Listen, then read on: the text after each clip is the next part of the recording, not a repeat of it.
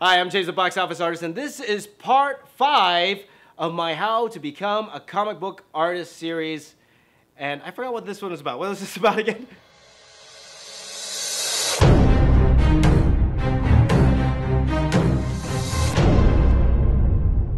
This is all about having the right portfolio. And what do I mean by that? You know, here's the thing, okay?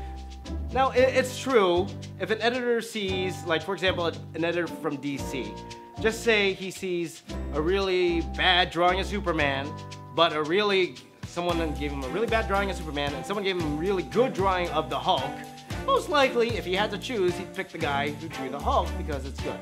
But it doesn't hurt to craft your portfolio to the place that you are working in. Like I said before, in the first video where I talked about working for Dreamwave, I knew that they needed background artists. So I catered my portfolio to actually drawing backgrounds because I knew it would get my foot in the door.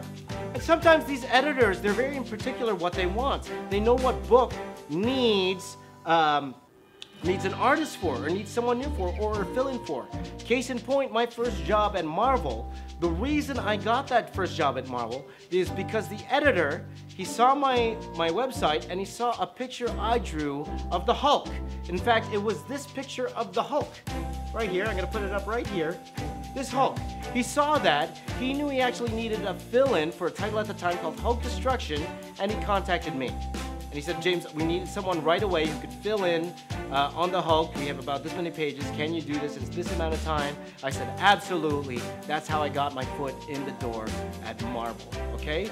So not only that, crafting the, having the right portfolio, okay? So you know Marvel is looking for a certain thing, right? Or you want to draw Avengers. You gotta prove that you can draw Avengers. You gotta prove that you could handle multiple characters in a book, okay? Multiple characters on a page. You gotta cater to that particular genre that you are looking for. And I'm here more than willing to help you.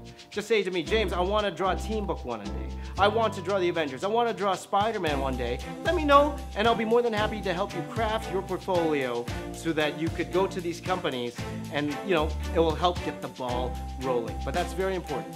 Get yourself the right portfolio, okay? Show a lot of variation. Show that you could tell a story, and that's what's most important. Show you could tell a story with all of your artwork, okay? Not just pretty pinups. Show you could tell a story, and yeah. Any way I can help you, please do let me know. Okay, please follow me on Twitter, Instagram, at Box Office Artist. Please subscribe to my channel. And most importantly, keep drawing.